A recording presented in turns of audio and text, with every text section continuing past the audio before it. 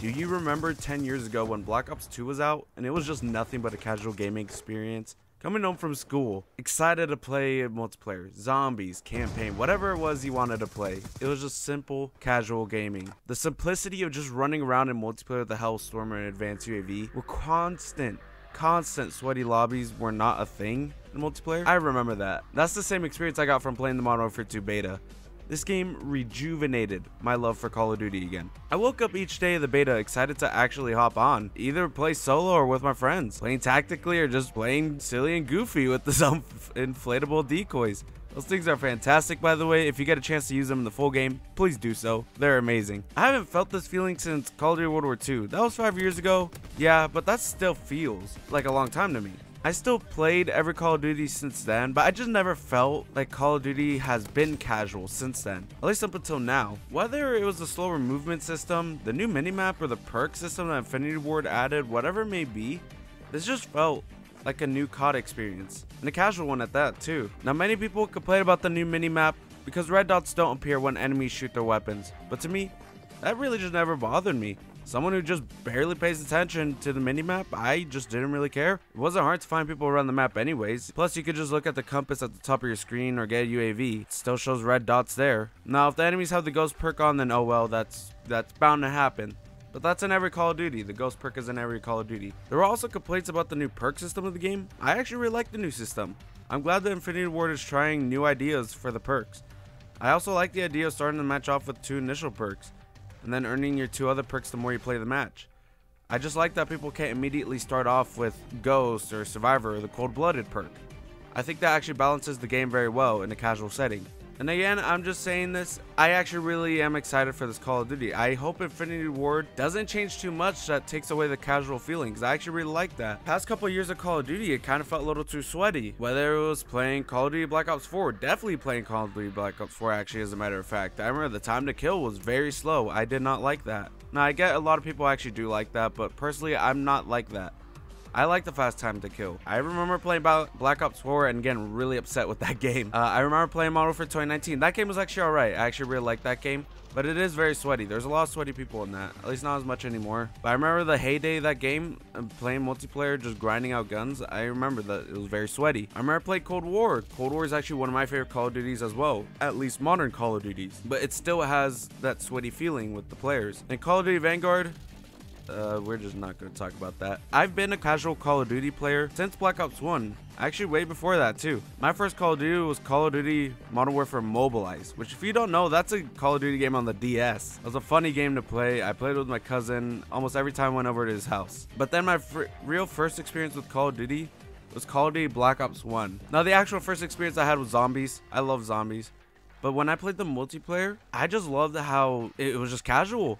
I still have very fond memories of playing with the AK-47 or playing with the, the FAMAS. Those guns were awesome to use. Sniping in that game was fun too. It was just fun to run around, look at the map, look at everything that the, the game had to offer. It was just a very casual gaming experience. And I'm glad I feel that experience playing Modern Warfare 2 because I just haven't felt that in so long. I know that's a mix of uh, feelings among the Call of Duty community. But I'm a casual player, so I really like this game. Even though I am praising the game's beta a lot right now, I do have a complaint about the equipment. For those of you who don't know what a shock stick is, it's in the lethal equipment that you have where you place it down and if someone gets near it, the shock effect will be placed on them but they can still shoot their gun and also move out of the way very quickly. Personally, I feel like the shock stick should act more like the shock charge from Black Ops 2, when the shocking effect would actually stun you. Now yeah, you were still able to shoot your gun, but it would actually stun you in place. You could still move, but it was, you know, you moved very slow. And I think that's how the shock stick should work.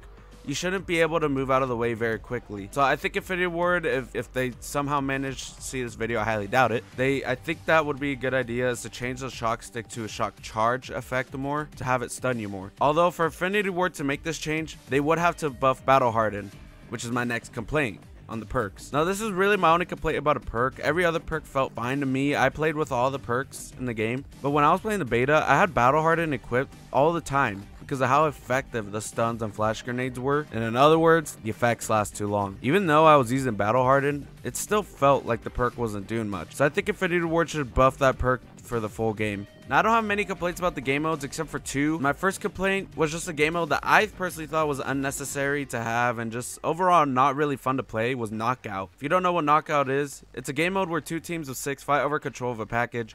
Whichever team holds the package the longest wins. Each player has one life, but can be revived. Now, on paper, that actually sounds like a fun game mode. Kinda reminds me of Team Defender from Modern Warfare 2019. Actually really like that one. When I was playing this game mode with my friends, I was just not having a fun time with it. The maps and just the overall game's flow felt off when playing this mode. Personally, I just don't think that this mode is fun. But it's definitely nice to see that Infinity Ward is trying new game modes in multiplayer. Another complaint I have while more of a minor complaint is the third person mode. I actually really do like this game mode, but I just don't like the way you ADS your weapons. It's weird from going to third person to first person all of a sudden. It just doesn't feel smooth while doing so. I think if Infinity Ward just decided to have the ADS aimed to the side of your character, like most third person shooters, then the mode would definitely have a much smoother flow. Overall, while playing the beta, I did enjoy the maps that it had to offer, especially Valderas Museum and Farm 18. I think those maps are perfection. Plus the Invasion and Ground War maps are just amazing as well. Although the other two multiplayer maps can't really say the exact same thing. Mercado Las Almas and Breenberg Hotel.